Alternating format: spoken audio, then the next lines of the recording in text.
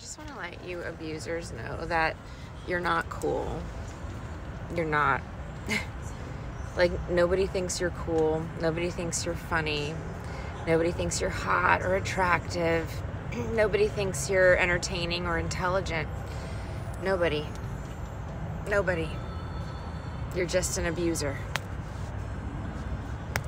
That's all you are. You're just an evil piece of shit. An insecure, weak motherfucker.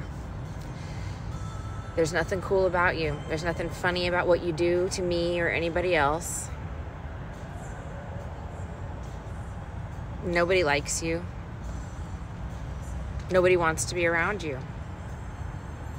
You're just an abuser. You're a fucking cockroach, scum of the earth.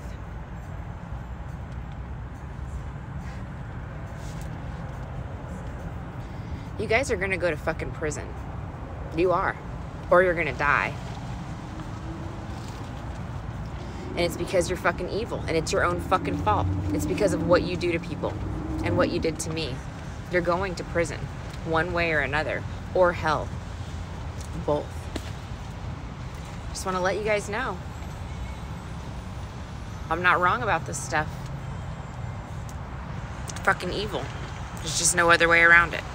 There's no justification for anything that you do. Period.